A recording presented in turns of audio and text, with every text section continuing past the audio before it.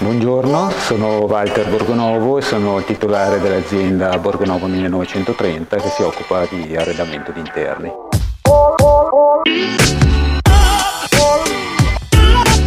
Borgonovo 1930 nasce come piccola bottega artigiana in Brianza, Mariano Comense per l'esattezza, e da lì si evolve sempre nel discorso produzione artigianale. Negli anni 80 mio padre affianca questa attività artigianale l'attività di commercio che viene poi sviluppata da me negli anni 90 e a seguire e adesso è diventata l'attività prevalente.